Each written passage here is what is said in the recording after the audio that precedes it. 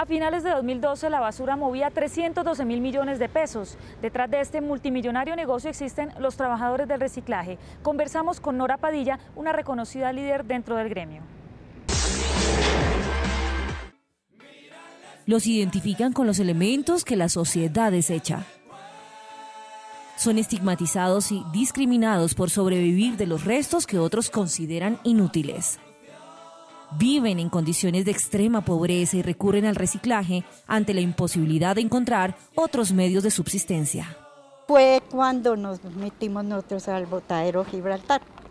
Entonces allá tocaba meternos a las malas porque allá a nosotros la gente no nos quería porque éramos invasores y me pegaron seis tiros. Y yo iba con una, con una compañera y nosotros salíamos así del botadero porque el señor ese nos traía punte palo.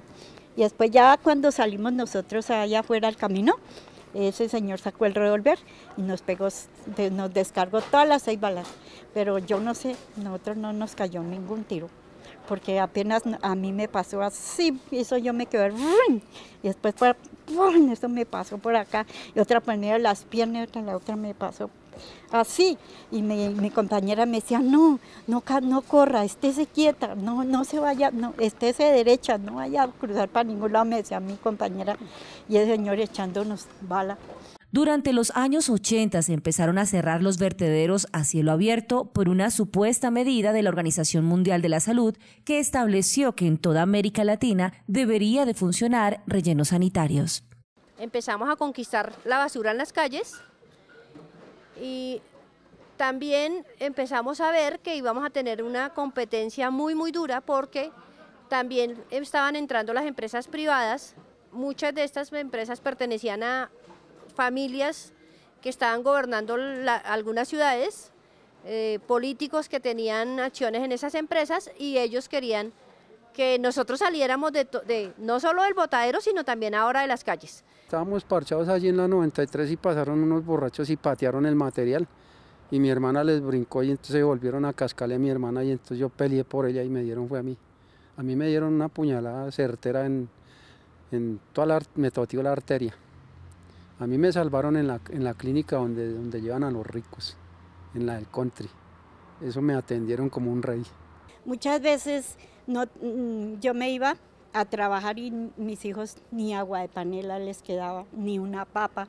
Y, le voy a contar algo, mire, una vez me bajé en el paradero de Bosa y allí habían vendiendo, están vendiendo mm, chuzos, chuzos.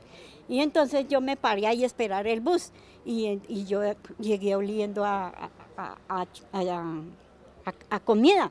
Entonces me decían, pero mamá, su merced sí comió algo. no, es que yo estaba era para allá donde hacen eso y yo vengo, es que el olor al humo, yo no he comido nada. Y así nosotros pasamos mucha hambre.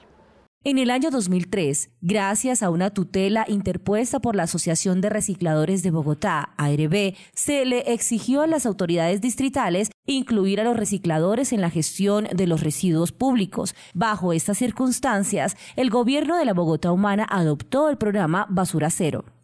Toda la plata que pagaban los usuarios estaba siendo entregada a cuatro empresas que prácticamente se robaban el, el, pago porque una gran cantidad de residuos la recogíamos los recicladores y no las empresas. Entonces ellos estaban teniendo unas utilidades injustificadas, estaban teniendo un, un pago por un trabajo que no hacían.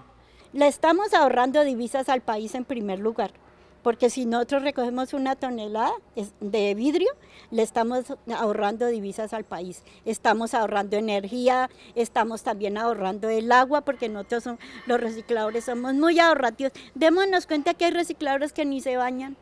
¿Ah? Ahora sí, ahora para qué?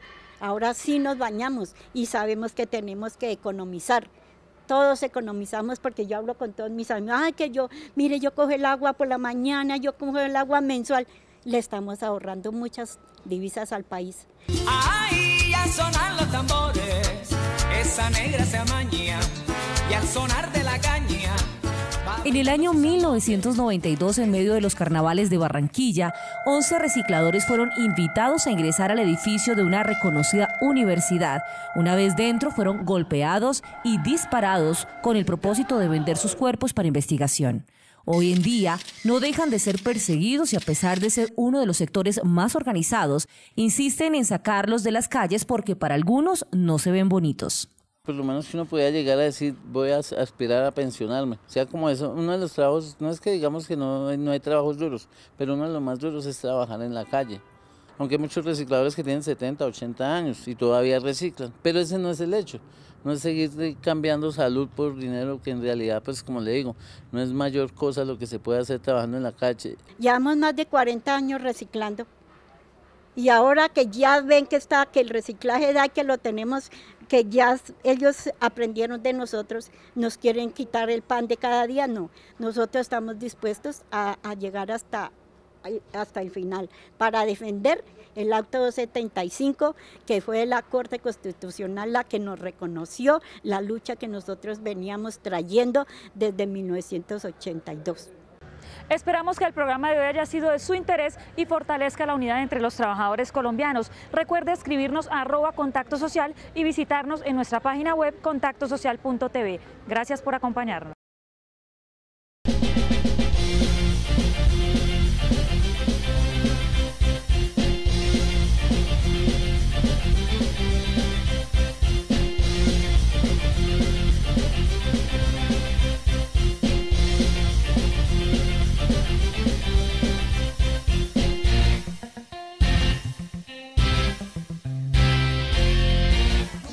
Contacto Social, el informativo de los trabajadores.